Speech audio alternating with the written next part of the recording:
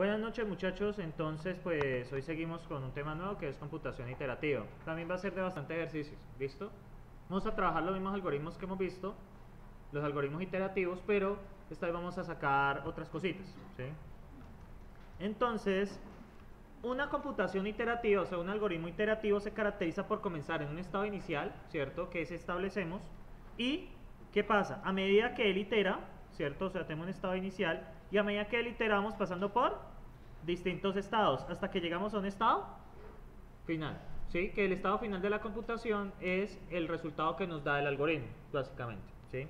Entonces, todo estado va a tener algo que lo va a caracterizar, no va a cambiar en toda la computación, que vamos a conocer como invariante. ¿sí? Es la invariante.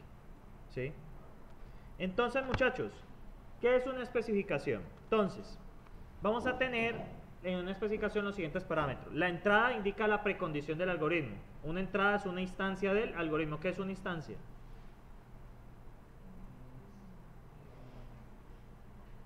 ¿Una qué? ¿Una instancia qué es? Una entrada válida del algoritmo. ¿Listo?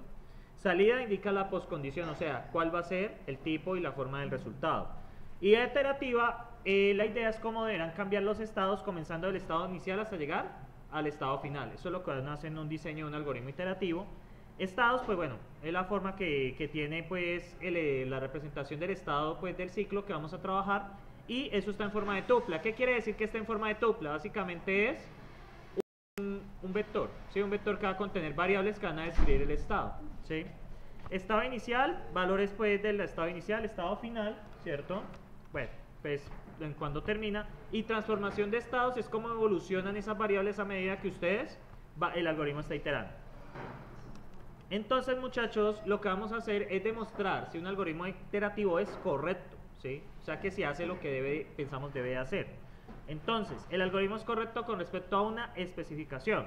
Será correcto, ¿cierto? Si para cada entrada que es que una ins instancia, o sea que es una entrada válida, si una entrada que cumple con la especificación o precondición, el algoritmo termina cumpliendo la poscondición, o sea, la forma del resultado. Y además vamos a tener un método formal para probar si el algoritmo es correcto. ¿sí? Es básicamente la demostración del invariante de ciclo mediante paso base y paso inductivo. Si recuerdan eso de matemáticas discretadas? La 1, ¿no? Entonces, bueno, no hay problema. Bien, miremos por ejemplo este, esta especificación del cálculo del factorial. Entonces tenemos una entrada que es un entero que mayor o igual que 0, ¿cierto? Bien, ¿cuál es el resultado? La postcondición. ¿Qué vamos a obtener de la salida? El n factorial. Entonces vamos a tener una idea iterativa, ¿cierto? Que va a ser básicamente que vamos a tener un contador de iteración, si lo ven acá, y un acumulador que me indica cuál es el factorial del número. ¿Cuánto vale 0 factorial? 1. ¿Cuánto vale 1 factorial? 1. ¿Cuánto vale 2 factorial? 2. ¿Cuánto vale 3 factorial? 6. Y finalmente llegamos hasta n y tenemos n factorial. Es decir, el algoritmo va a evolucionar desde 0 hasta n y la salida va a ser n factorial. Si vamos a calcular de forma iterativa, es decir, por pasos, vamos a calcular el factorial del número. Entonces, ¿qué pasa muchachos? ¿Ustedes qué ven que cumple cada estado aquí? ¿Qué ven que cumple siempre? Ustedes tienen el índice y, y a medida que va avanzando el factorial, ¿cierto? Entonces, observen que el resultado es igual al factorial de quién? Del índice. A eso lo vamos a llamar invariante. ¿Por qué? Porque se mantiene a medida que el algoritmo va iterando. ¿Sí me siguen allí la idea? ¿Sí? Ahorita lo mostramos con un ejemplo. ¿Cuál es el estado inicial? Pues índice igual a 0, resultado igual a 1. Y el estado final es índice igual a n y resultado igual a... ¿A qué? A n factorial. Listo. Entonces, bien, transformación de estados. Es a medida que avanza el algoritmo que va cambiando. Observen. ¿Qué va cambiando? ¿Cómo, ¿Cómo cambia el índice a medida que el algoritmo itera? ¿Qué pasa con él? Lo incrementamos en 1. Entonces pasamos de un estado cualquiera a un estado siguiente. ¿Y qué pasa? Tenemos índice igual a índice más 1. O sea, el índice se incrementa en 1. ¿Y el resultado qué le pasa? Al resultado lo multiplicamos por índice más 1. ¿Por qué? Para obtener el n factorial, ¿cómo sacamos n factorial? Como n por n menos 1 factorial, ¿cierto? Básicamente. ¿sí? Entonces, por eso es que sale esto de acá. Le sumamos 1 al índice y lo multiplicamos por el resultado para mantener la coherencia con el factorial. ¿Por qué? Observen este, este 2, ¿cierto? ¿Qué pasó? Este es índice y este es R. ¿Qué pasó con el índice acá? Se incrementó en 1. ¿Y qué pasó con el resultado? Cogemos el resultado actual y lo multiplicamos por índice más 1, que es 3. 2 por 3, 6. Eso fue lo que se hizo ahí. ¿Sí? Entonces, muchachos, eh, bueno, ahorita miramos otra vez un ejemplo. Entonces, por ahora seguimos con más definiciones. Una especificación es la definición de un problema en términos de su precondición Q y su poscondición R. Es decir, si la entrada cumple las condiciones de ser una entrada válida, o sea, de ser una instancia, ¿cierto? Cumple la precondición, el algoritmo obligatoriamente debe darte la poscondición. ¿Se acuerdan que yo les hablaba del trato que uno hace con un algoritmo? No, no lo recuerdan. Que si usted el algoritmo le da la entrada correcta, ¿cierto? ¿El que le va a dar como resultado? La salida correcta, o sea, el algoritmo va a cumplir la poscondición, ¿cierto? Formalmente se denota como QAR. ¿Qué quiere decir? A es correcto con respecto a la precondición Q y a la poscondición R. Es básicamente la formalización que yo les he dicho. ¿sí? Que si usted en un algoritmo le ingresa la, entrada válida, pues debe dar una salida válida. Eso es en pocos términos. Bien, ahora miremos el factorial, ¿cierto? Ese es un factorial iterativo. ¿Qué pasa? Ustedes que van a observar aquí, van a encontrar, en los algoritmos iterativos van a encontrar que siempre que va a haber un qué, ¿Esto qué es? Un ciclo, ¿cierto? Bien. Entonces, ¿qué observan que cambian cada vez que hace el ciclo? Y el índice del resultado, ¿no? Bien, a esto vamos a empezar a escribirlo. ¿Sí? Bien, entonces muchachos, vamos a ver si es que el algoritmo es correcto con respecto a la especificación. ¿sí? Entonces vamos a empezar a mirar, ¿cierto? A medida, de nuevo, que avanza el while, las variables que me marcan que cómo cambia, ¿quién es? Índice y resultado. Eso quiere decir que el estado de la computación está en términos de índice y de resultado, porque es lo que va cambiando. Entonces, muchachos, intuitivamente allí, ¿cuál sería el estado inicial de la computación? O sea, apenas arranca el algoritmo, ¿qué pasa? ¿Qué ven? Sin haber hecho ningún ciclo. 0 y 1. Índice vale 0 y 1, ¿sí lo ven? Entonces, ese es el estado inicial. ¿sí? O sea, es como tomarle una pantalla antes de que inicie el ciclo. ¿sí? Antes de que ese es el estado inicial, antes de que inicie el ciclo, ustedes van a encontrar que índice vale 0 y resultado vale 1. ¿Estamos allí? Entonces, ¿qué pasa? A medida que él empieza a iterar, ¿cierto? ¿Qué va pasando con el índice a medida que va iterando? Va incrementándose en 1. Y resultado, pues se multiplica por índice más 1. ¿Sí? Pues toma aquí cae la actualización de la variable. ¿Listo? Entonces esa es la medida que va avanzando. ¿Cuándo termina ese algoritmo? Cuando índice es igual a n. Y resultado pues va a valer n factorial, por obvias razones. ¿sí? Entonces bien muchachos, miremos este otro. Este por ejemplo es un método iterativo para el cálculo de la raíz de x, ¿cierto? Eso utilizando el método de Newton-Raphson. ¿sí? Bien muchachos, entonces la entrada, ¿cómo es? Un x mayor o igual que 0 y x ¿qué es?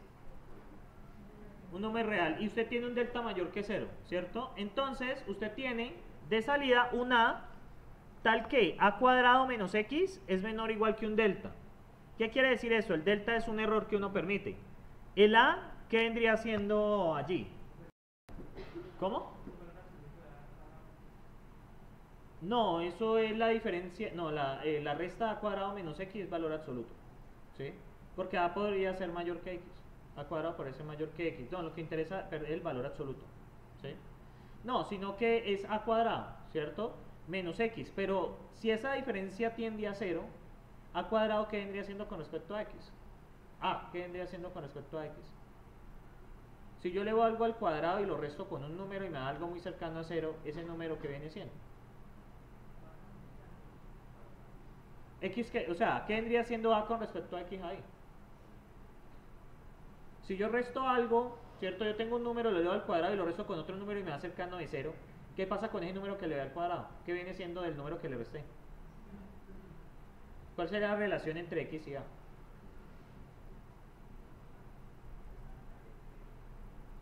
Mm, mm. Tampoco.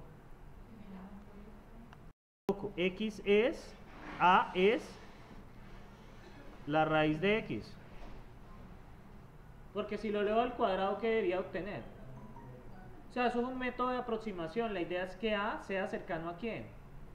A la raíz de X. Esa es la manera de comprobarlo. ¿sí? Entonces, ¿qué pasa, muchachos? El método que nos dice, básicamente, inicia la aproximación A con el valor 1 y mejorela utilizando el cambio de A por A más X dividido 2, dividido A sobre 2. Eso es el método allí. ¿Listo? Entonces, muchachos, ¿cuál sería la transformación de estados? ¿Usted en qué empieza? En 1. ¿Cuándo termina valiendo A inicialmente? 1. ¿Cierto? Ese sería el estado inicial. Mira lo que pasa acá. ¿Qué pasa ahora en la siguiente iteración? Es 2, ¿cierto? Pues que incrementa en 1. ¿Y qué pasa con este 1? Le sumamos X, lo mismo entre 2 y todo eso entre 2. La fórmula que hay acá básicamente. ¿sí? Eso es especificación del problema. ¿Listo? Entonces, ¿cuál es la forma de los estados? Índice, coma, aproximación, pues que aproximación es A, tal que A mayor que 0, esa es el, la invariante. ¿Por qué? Usted tiene un índice, ¿cierto? Y siempre que va a tener una aproximación a quién? A la raíz, ¿sí? Porque con este método iterativo, que es el de Newton-Raphson, usted va a encontrar iterativamente, a medida que itera más, se aproxima cada vez más a quién? A la raíz. ¿Ustedes acuerdan de cálculo 2 cuando hacían expansión en series de Taylor? Ese es un método para calcular la raíz en series de Taylor, básicamente. Eso se devuelve a larga una sumatoria. ¿sí? Entonces, eso en infinito converge en la raíz. Es un método iterativo. Porque, de hecho, es el que utiliza el computador para calcular raíces, porque el procesador no calcula la raíz. ¿Sí se acuerdan de Arquidos? ¿O no? ¿Más o menos? Ustedes saben que un procesador no puede calcular una raíz naturalmente. Necesitan métodos. ¿sí? Entonces, esto es un método iterativo para calcular raíz rápidamente. ¿sí? Básicamente es eso. Entonces, bien, muchachos. ¿El estado inicial cuál es? Cuando A vale 1. ¿Cuál es el estado final? Pues usted tiene un A tal que A cuadrado menos X es menor o igual que un delta. El delta es el error que nosotros permitimos. ¿sí? Porque de la larga que eso de 0 puede demorarse mucho tiempo. Entonces uno tiene como una tolerancia. Uno dice, bueno, si eso, si la diferencia es 0.01, entonces yo ya sé que la raíz es bastante precisa. ¿sí? Uno permite un error. ¿sí? Por ejemplo, usted quiere calcular la raíz de 25, por ejemplo, y le dio 4.99. 4.99 es lo suficientemente bueno para decir que es raíz de 25. Yo diría que sí, ¿cierto? Entonces es eso. No, uno itera hasta que se aproxima lo suficiente. Ahora, en el infinito sí es igual a la raíz, pero no puede iterar infinitamente eso. ¿sí? Porque imagínense ustedes calculando una raíz así. ¿sí? Bien, muchachos, ¿y cuál es la transformación de estados? ¿Qué pasa con el índice? ¿Se le suma? 1. ¿Y qué pasa con A? Le sumamos X medios y lo dimos entre entre 2, ¿cierto? Creo, ah, no, aquí hay un error. A más X sobre sobre A, ¿no? Hay un error ahí, dividido 2. Esa es la transformación de estados. ¿Bien? Bien, ahora vamos a ponerle esto acá. Entonces miren este algoritmo iterativo. ¿Qué es lo que ustedes primero identifican acá, muchachos? ¿Qué ven acá? ¿Esto qué escribe? El estado inicial. Y a medida que itera, ¿cómo cambia A? ¿Qué ven aquí? Creo que es X sobre A así. ¿Qué pasa a medida que él itera? ¿Cómo cambia A? Pues cogemos el A que tenemos, le sumamos X, lo dividimos entre A y todo eso lo dividimos entre 2. Entonces, ¿cómo es aquí la descripción de estados? De nuevo, ¿qué me permite saber qué cambia en cada ciclo? ¿Cuál es la variable fundamental ahí? A, ¿no? ¿Cierto? Ustedes tienen la variable fundamental allí. Algo que deben tener en cuenta, ¿cierto? Es cuando ustedes, antes de iniciar el ciclo, ¿cierto? Eh, ustedes deben tener en cuenta qué es lo que realmente está, antes de que inicie el ciclo, qué es lo que está, qué valor tiene A. 1. Entonces ese sería el estado inicial. Y a medida que él itera el ciclo, va pasando, a medida va pasando por un, cada vez que hace un ciclo va pasando por un estado distinto de computación, ¿sí? Que es el que es representado por el cambio de la variable A, ¿sí? Entonces, ¿cuándo termina eso, muchachos? ¿Cuándo termina ese while? Cuando ustedes ven que la condición de arriba se cumple, que a al cuadrado menos x es menor o igual que el delta, ¿cierto? Eso es lo que va a pasar. Cuando pase eso, ¿qué pasa con el algoritmo? Para, y ese vendría siendo el estado final, ¿cierto? Ese es un algoritmo un poco más complicado de analizar, pero vamos a hacer. Entonces, muchachos, vamos a analizar primero el algoritmo factorial. Ustedes que ven, las condiciones iniciales están dadas antes de que inicie el ciclo, o sea, sea el for, sea el while. Antes de que inicie el ciclo, ustedes miran las variables que describen todo. ¿Cuáles son las variables que describen todo? Índice y resultado. Podrían haber más, ¿cierto? No necesariamente va a ser así tan, tan Pueden haber más. Ustedes deben indicar son las variables que cambian a medida que el ciclo va avanzando. Usted ve que índice y resultado cambian, ¿lo ven? Bien. Ahora, ¿qué pasa? ¿Cuál es la transformación de estados? La transformación de estados, ¿quién se la da? Cuando usted mira el ciclo, observe cómo van cambiando las variables a medida que va iterando. ¿Qué pasa con índice? Se incrementa en 1. ¿Y qué pasa con resultado? Se multiplica por índice más 1, ¿no? Porque índice ya se actualizó ahí. Tengan eso en cuenta. ¿Listo? Entonces, muchachos, observen. Yo tengo un valor de índice y resultado dados. ¿Qué le pasa a mi índice en la siguiente iteración? ¿Qué le pasa? ¿Qué le sucede? Se incrementa en 1, ¿cierto? ¿Y qué le pasa al resultado que yo actualmente? Se multiplica por resultado por índice más 1. ¿Por qué índice más 1? Pues, pues porque así se actualizó antes. ¿Listo? ¿Vale? Yo no haya problemas con eso. ¿Listo? Entonces, bien, muchachos. ¿Y cuándo termina ese algoritmo? ¿Cuándo índice es igual? A n, ese es el último válido. Miremos el de la raíz iterativa, ¿cierto? ¿Quién, la, ¿Quién, da la condición inicial? Ah, la condición inicial siempre es antes de que arranque el ciclo. O sea, usted está ahí y el ciclo no ha arrancado. ¿Qué valor tiene la variable que tiene importancia? 1. En el caso solo es A.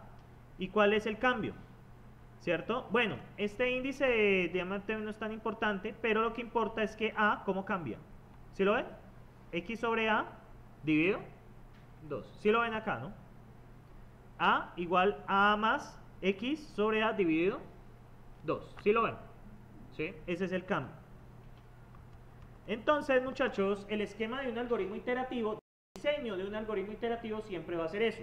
Usted va a tener una secuencia, un estado inicial y usted va a tener un while o un for ¿qué, ¿qué va a hacer con los estados? ¿Qué va a hacer con ellos? ¿Qué va a aplicar sobre el estado que usted que, se, que tiene el algoritmo? ¿Qué va a aplicar el while o el for que tenga? ¿Qué va a aplicar? ¿Qué va a hacer? Cambio de estados, hace la transformación de estados. ¿Sí me siguen allí? Él hace la transformación de estados. Entonces es algo que ustedes deben tener pues claro, ¿cierto? Va a ser, el while va a ser un cambio, ¿cierto? Entonces muchachos, si yo les llego a pedir un diseño de un algoritmo iterativo que solucione algo, pues debe ser bajo este enfoque. ¿Qué deben de hacer ustedes? Primero, plantear los estados. Y segundo, plantear ¿qué hace? la transformación de estados, ¿qué es lo que, ¿quién hace eso? El ciclo, el for, el while, lo que sea. Con while es más intuitivo, ¿sí? Pero también puede estar el for perfectamente, ¿sí? El for, pues, lo del for es que tiene incluido el cambio del índice de internet, ¿sí? Entonces, bien, muchachos. Entonces, ¿cómo probar que el algoritmo iterativo es correcto? ¿Cierto? Que cumple la precondición y la poscondición. Entonces, ¿qué es lo primero? Vamos a calcular la invariante del ciclo, que es lo que mantiene en cada ciclo. Entonces hay que probar si el estado inicial, ¿cierto? Cumple la invariante de ciclo. Segundo, vamos a probar si, el, si la invariante de ciclo cumple el estado final. Y tercero, vamos a probar que efectivamente el algoritmo da una respuesta correcta. Y allí último, pues termina. ¿Sí? O sea, ¿qué pasa si el algoritmo no termina? ¿Qué podemos decir? ¿Qué podemos decir de un algoritmo que no termina? De lo que vimos al principio.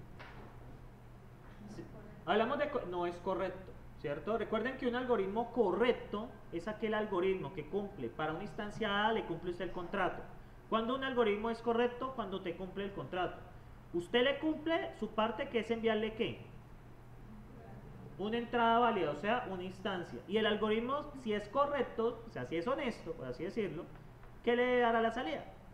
¿La salida qué? Esperada, ¿no? Si es un algoritmo que calcula el factorial, yo debería esperar a la salida que debería esperar. Que efectivamente me dé qué? El factorial. Es lo que uno debe esperarse de estos algoritmos. ¿Listo? Bien, muchachos. Entonces, empecemos con este nene. ¿Sí? Entonces, muchachos, ayúdenme, no se adelanten en las diapositivas, sino ayúdenme a identificar qué describe los estados. Entonces, una pista, miren lo que cambia dentro del ciclo. Entonces, ¿cuál sería la forma de estado? Ustedes me dirán, la forma del estado. Observen qué es lo que describe a medida, qué es lo que diferencia de una iteración de la otra. ¿Qué va cambiando? Y, y, y res, ¿no? Exactamente, eso me describe el estado. ¿Cuál sería el estado inicial? 1, 0. ¿Por qué? Tomen el pantallazo inicial, ¿cierto? Este ciclo no ha arrancado. ¿Qué es lo que usted ve en el pantallazo inicial? Res vale 0 e I vale 1, ¿cierto? Y ahora bien, a medida que los ciclos aumentan, ¿qué va cambiando? Yo tengo un I, res cualquiera. Cuando el ciclo pasa a la siguiente iteración, ¿qué le pasa a esas variables? Y aumenta en 1. ¿Y qué le pasa a mi res actual? Le sumo A, ¿sí o no? Y finalmente, ¿cuál sería el estado final? ¿Cuándo es igual a quién? A B.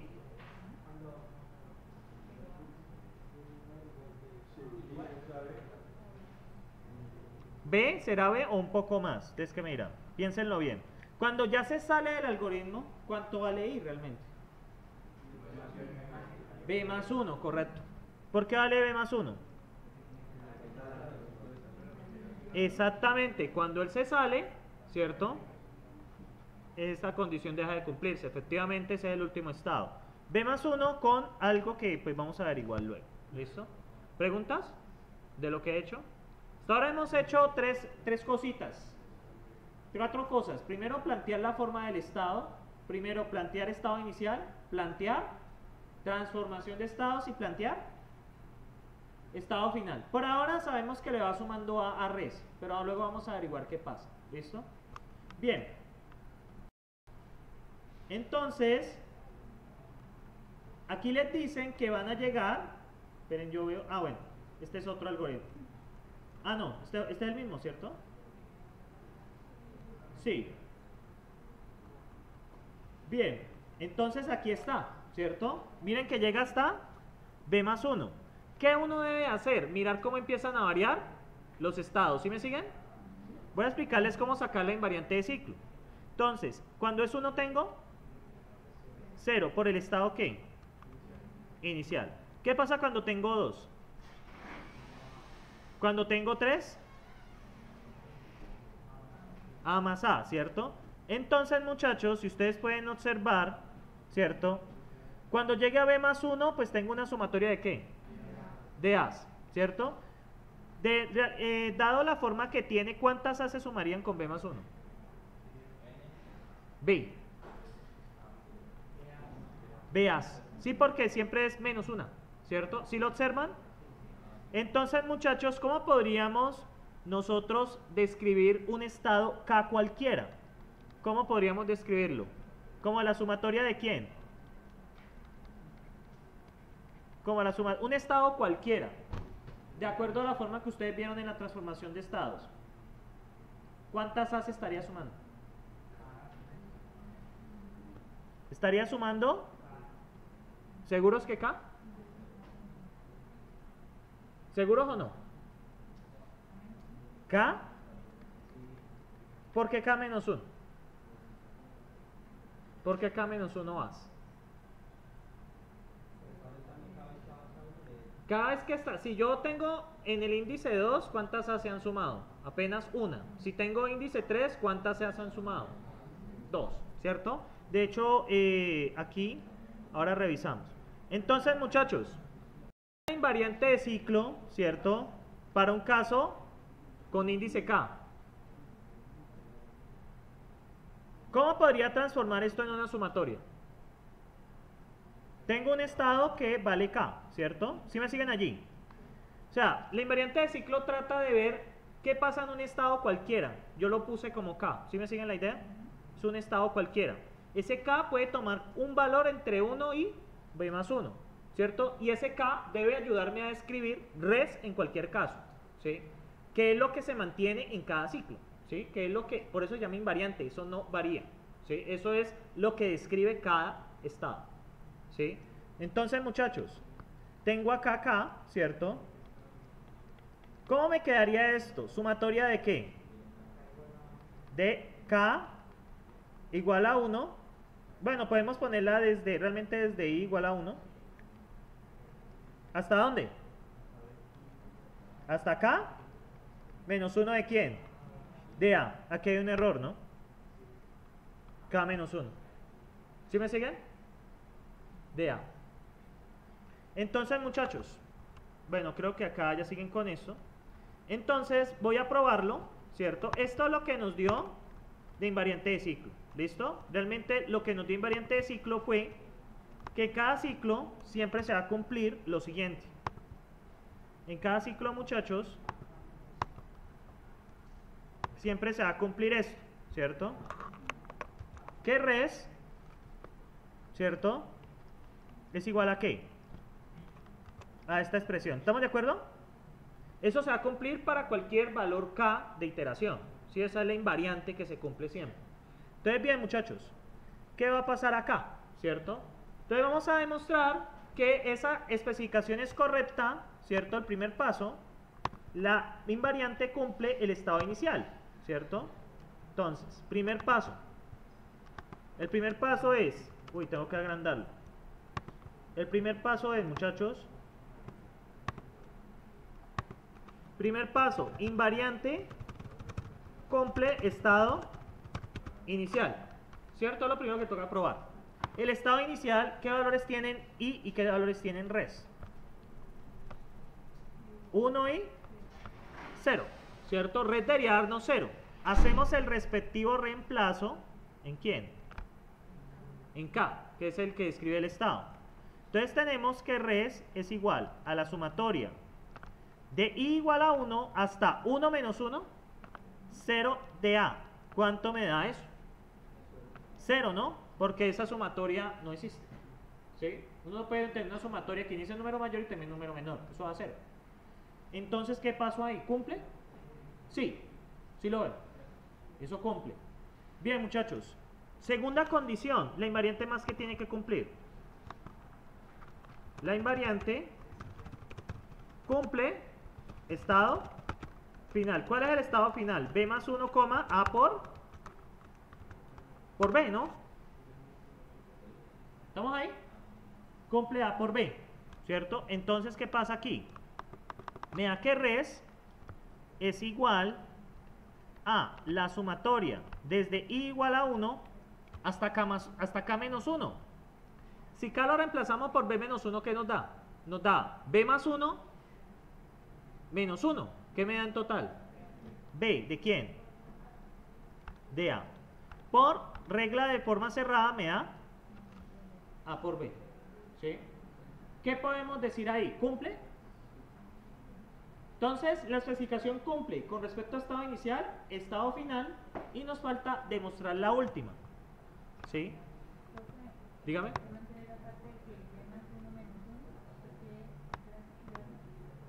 Porque el estado inicial es k igual a b más 1. Entonces, como tiene aquí k, más k menos 1, reemplaza b, k por b más 1. Entonces, por eso queda b más 1 menos 1, queda b solo. Entonces, muchachos, nos falta, ¿cierto?, demostrar con respecto a quién, a la transformación de quién, de estados. La transformación de estados, ¿qué me dice, muchachos? La transformación de estados, ¿qué me dice? Que uno tiene I, coma, res, ¿cierto? Y, ¿qué pasa? ¿Qué pasa con I? I más 1 y queda res más A. ¿Sí la recuerdan? ¿Sí? Entonces vamos a aplicar la invariante a esto, a ver qué pasa. ¿Sí? Recuerden que esto queda I, ¿cierto? Y aquí queda, ¿qué sucede? De hasta, hasta eh, de I, bueno, ahí no funciona, va bien. Ahí la, es que me jode. Entonces, un estado K cualquiera. ¿Y qué pasa con ese índice? ¿Le sumamos? 1. Así ya me funciona mejor. Entonces, ¿esto cómo queda? Desde i igual a 1 hasta dónde? Hasta acá, menos 1. Esa es la invariante de ciclo, ¿cierto? Res, ¿cierto? Entonces, ¿esto a qué equivale en transformación de estados? K más 1. ¿Y qué pasa con este res? ¿Le sumamos? A, ¿sí lo ven? ¿Le sumamos? A. Entonces, K igual a 1 hasta K menos 1 de A. Uy, ¿qué res? De A más qué? Más A, ¿sí lo ven? Simplemente reemplacé res. Entonces, aquí, ¿qué pasa, muchachos? Esta sumatoria, ¿cómo se, cómo se me transforma? ¿Cómo me queda? Ah, perdón, aquí sí.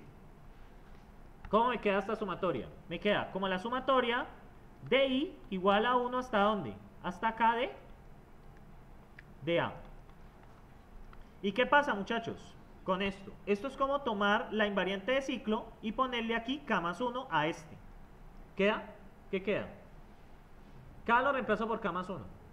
¿Qué le pasa a este índice de acá arriba? Queda acá. ¿Cierto? Entonces he demostrado que la invariante de ciclo, que la invariante de ciclo cumple también la transformación de estados. ¿Sí lo vieron?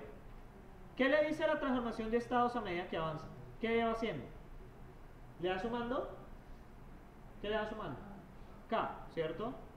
Entonces, ¿qué pasa aquí con la invariante de ciclo, muchachos? Si reemplazamos K menos 1, K igual a K más 1, ¿qué va a quedar acá arriba? ¿Qué va a quedar acá arriba? K, ¿cierto? Que es lo mismo que tomar K menos 1 de A y sumarle A. Eso ya es por propiedades de las sumatorias. De esa manera hemos demostrado que la invariante de ciclo que cumple, primero, estado inicial lo cumple, cumple y cumple la transformación. Y el último es, que ese es intuitivo, cuarto, el algoritmo termina. ¿Cuál es la respuesta? Sí, ¿cierto? La respuesta es sí, ¿por qué? Porque B, el algoritmo termina sí, porque B es finito. ¿Sí? Básicamente porque B es finito. O sea, eso avanza desde dónde? Desde 1 y termina en B.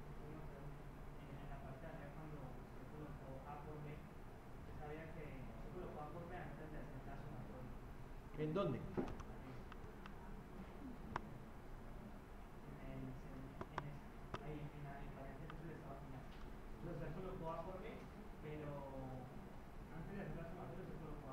Ah, sí. La saqué de aquí. Porque el estado final A va a sumar B veces. Entonces, pues, va a dar A por B por esa razón. O sea, yo la saqué fue del análisis de la transformación de estados. Uno el valor final lo saca del análisis de la transformación de estados. ¿Sí? No va a ser tan intuitivo en algunos algoritmos. Les va, necesitan, van a necesitar bastante práctica también con eso. ¿Sí? Ya van dos temas pesados. ¿Sí? Con este. Y en este, muchachos, esto sale, esto sale, sale, esto va a salir. ¿sí? No importa con quién vean FADA, va a ser lo mismo. ¿sí? Entonces, eh, la vaina es que les va a tocar aprender a sacar la invariante de ciclo. Si eso cuesta trabajo al principio, pero toca aprender. ¿sí? Bien. Entonces, bueno, inicialización. Eh, bueno, aquí está la prueba. La sumatoria de igual a 1 hasta A. La sumatoria de K igual a K por A. ¿Cierto? Bien. Este es el mismo, ¿no? Y pues aquí estoy probando la transformación de estados, que fue lo que hice. ¿Sí recuerdan? Esto ya lo hice. Y éxito, pues básicamente que el ciclo finaliza cuándo? ¿Cuándo finaliza el ciclo? Cuando le igual a B, como B es finito, pues eso va a terminar. ¿Listo? Bueno, y el estado final. Ajá, sí. Bien, muchachos. Tenemos este algoritmo que se llama computa 3, ¿cierto? Entonces, vamos a tomarlo con calma, ¿sí? Entonces, muchachos, resulta que este tiene ciclo externo y ciclo interno. ¿Qué significa eso? Muchachos, que va a haber invariante de ciclo para el ciclo externo e invariante de ciclo para el ciclo interno. ¿Sí? ¿Sí me siguen? ¿Qué va a pasar ahí? Va a haber invariante de ciclo para ciclo externo e invariante de ciclo para ciclo interno. Entonces vamos a empezar por el ciclo interno, ¿ok? Vamos a empezar por el ciclo interno. Vamos a hacerlo entre todos. Este es el... Todo esto me ayuda a escribir el ciclo interno, ¿vale? En el ciclo interno, ¿qué variables me ayudan a describir el estado? ¿Quién? B y J, ¿por qué? Porque cambian en el ciclo. Si esas son las que describen, cada vez que avanza el ciclo, B y J me van a describir dónde estoy. Entonces, la forma del estado del interno va a ser S igual a B, a J, B. ¿Sí o no? Entonces, ¿cuál es la pregunta? ¿Cuál es el estado inicial del ciclo interno? Sería S sub 0 igual a B, perdón, a 1, 1. O sea, recuerden es, antes de que inicie ese while, ¿cómo estamos? ¿Sí? Ese es el ciclo inicial. Entonces, muchachos, de acuerdo a eso, ustedes les voy a preguntar cuál es la transformación de estados. Tengo un J y un B cualquiera, ¿qué va a pasar? J más 1 escucho, ¿y qué más? B es igual a B por I. Yo no sé cuánto vale I, ¿listo? Sencillamente va a ser B por I. Sí, yo no sé cuánto vale ese I, ¿estamos de acuerdo? Yo no lo sé. ¿Listo? Ese I, muchachos, asúmanlo como una como una entrada. ¿Sí me siguen?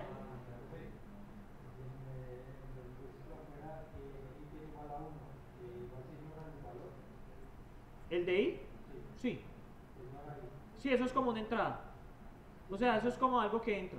¿Sí? Ustedes pueden, pero les digo, asúmanlo como algo que entra. ¿Sí? Si hay una variable del ciclo externo que está afectando, eso es una entrada. ¿Sí? Queda expresado como I. ¿Listo? Eso básicamente queda expresado como I. No hay nada más que hacer ahí. ¿Sí me, ¿sí siguen la idea? Nada más que hacer ahí. ¿Sí? Eso es una entrada. ¿Por qué? Porque ese I está cambiando dentro del ciclo ¿Qué pasa con ese i mientras hace, la, hace el ciclo? Tiene un valor fijo. ¿sí? Tiene un valor fijo. Bien, muchachos, esa es la transformación de estados, ¿cierto? Entonces, vamos a hallar a quién? A la invariante de ciclo. ¿Sí me siguen allí? Vamos a hallar la invariante de ciclo. Entonces, para hallar la invariante de ciclo, vamos a mirar cuál es el estado inicial. Y 1, 1. En el siguiente estado, ¿qué pasa? Cuando hace la primera vez el ciclo. 2, ¿qué pasa con el J? 2, ¿qué pasa con el 1? Se multiplica por I. ¿Sí lo ven? En el siguiente estado, ¿qué pasa con este? Sigue 3. ¿Qué pasa con el I? Perdón, ¿qué pasa con B? El valor de B actualmente es I. ¿Qué pasa con él? I cuadrado, ¿no? ¿Será que habrá otro estado o ya muere ahí? Si hay otro estado porque la condición es guardian 3. Cuando J es igual a 3, él vuelve a entrar, ¿cierto? ¿Y qué hace? 4. ¿Y qué pasa con el I? I al cubo. ¿Sí lo ven ahí? Porque es menor o igual. ¿Sí? Entonces, muchachos, yo les hago la pregunta a ustedes, ¿cierto? Este uno, este uno ¿cómo lo podríamos ver en términos de i? Para facilitar. i elevado a la 0. Este es i elevado a la 1. Entonces, dado un ciclo, una iteración k, cualquiera, ¿qué va a ser? ¿Cómo podemos escribir B en términos del ciclo? En términos del índice. ¿Y a la qué? Y elevado a la K qué? Menos 1. ¿Sí lo ven ahí? Y eso es la invariante de ciclo.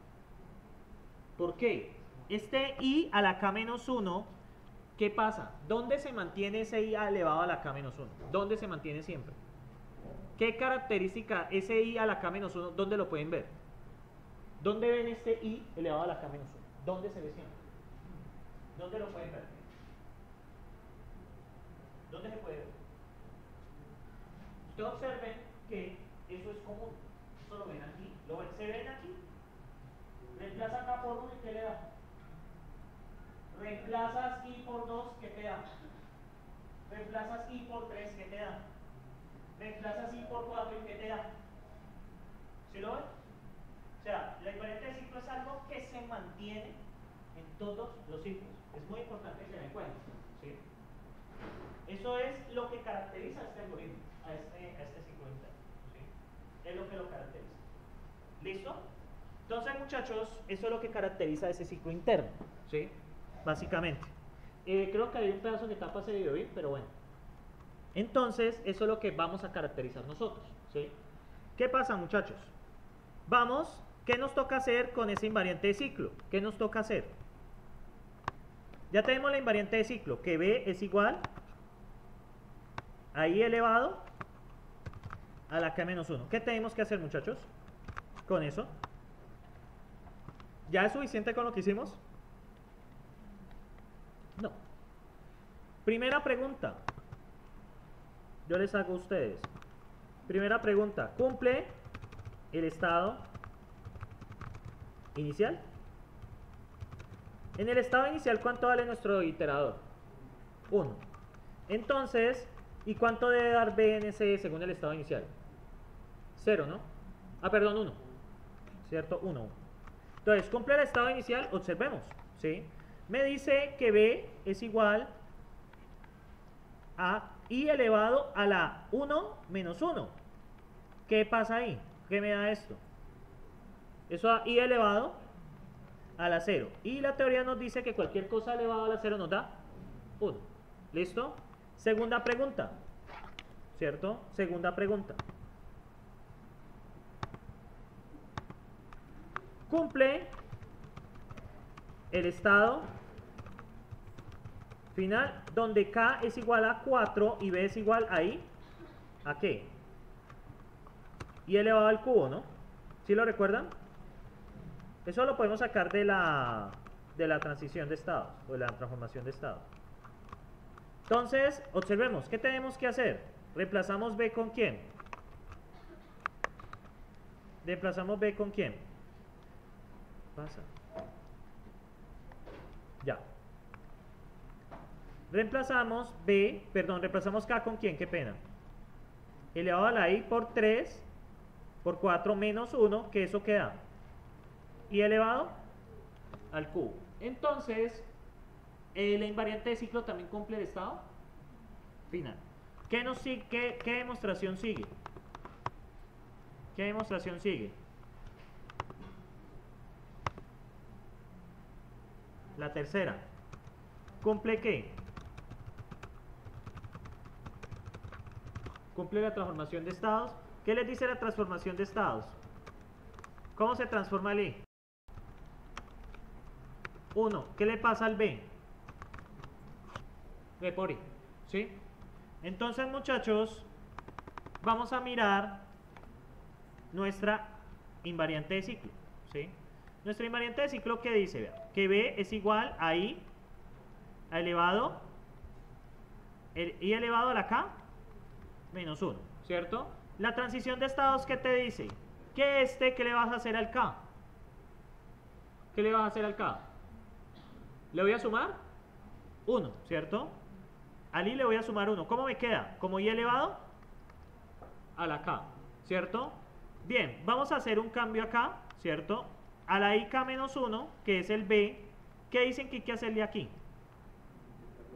Multiplicarlo por I, I por I elevado a la K menos 1. Por propiedades, ¿qué les da esto? Y elevado a la K. ¿Qué ven aquí? A uno le, le sumé uno acá, porque esa es la transformación del K. ¿Y qué le pasó a cuando apliqué la, la transformación de estados y lo multipliqué por I? ¿Qué le pasa? ¿Qué le pasa, muchachos? ¿Qué le pasa a, mi invariante? Queda I elevado a la K.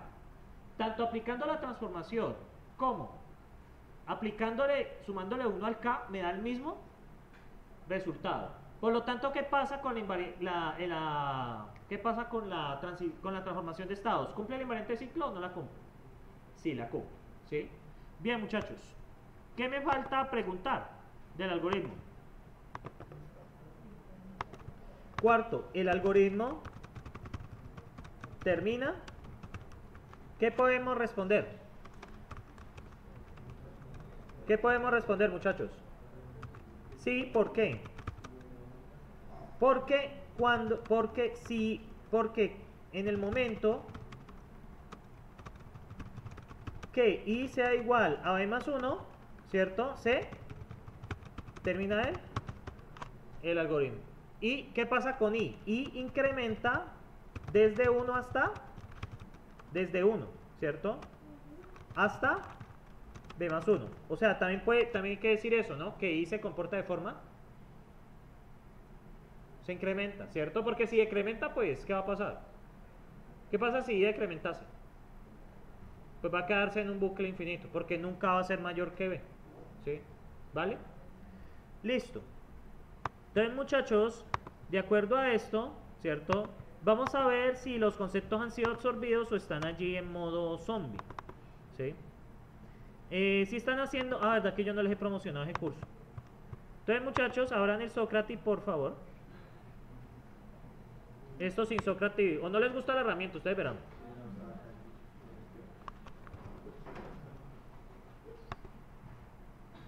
Vamos en el Sócrates, muchachos. Eh, eh, ya saben la room, todo eso. Creo que hay un quiz de otro curso de esta mañana.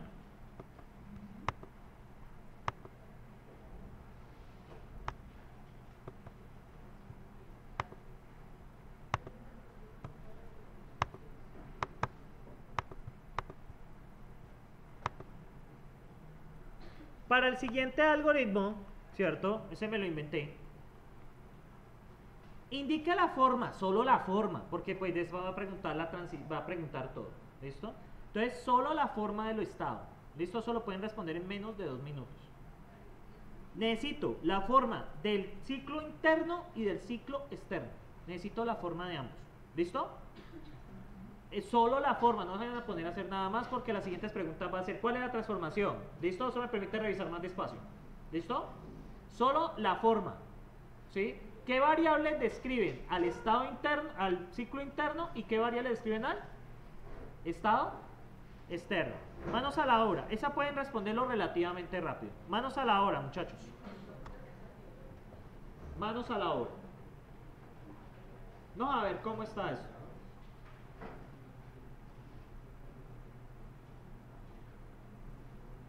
Manos a la obra, muchachos.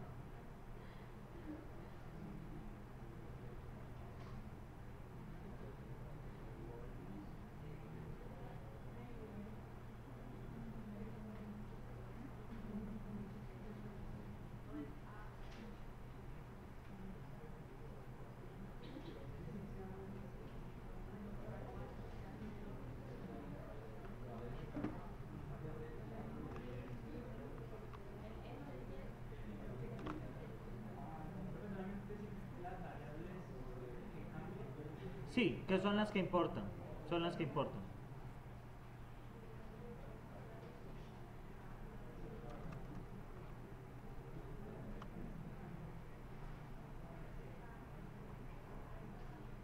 Mm. Y aquí debo modificar algo, un segundo. Hay un problema.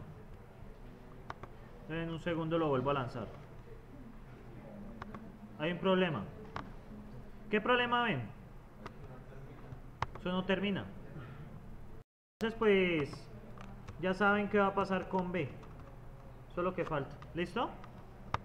¿Qué pasa con B? ¿Listo? Ahí no les va a cambiar en el suyo, pero B incrementa en 1, ¿listo? Y no tiene sentido ese algoritmo. Háganle muchachos. Ya saben que B incrementa en 1. No les va a aparecer ahí, pero B incrementa en 1.